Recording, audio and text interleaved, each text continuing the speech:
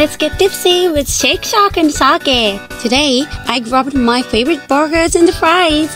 Itadakimasu. I'm so excited.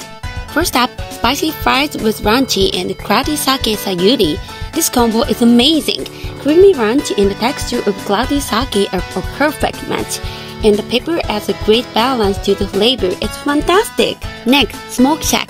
I tried it with Taka Tokubetsu Junmai, and while it goes well with the cheese and cherry pepper, it might need a bolder sake to match the meat better. Finally, Shroom Burger. Did you know it's not meat but the cheese stuffed mushroom fried? I had it with Tamagawa Tokubetsu Junmai, and it was spot on. The mushroom's richness and the sake's flavor balanced perfectly.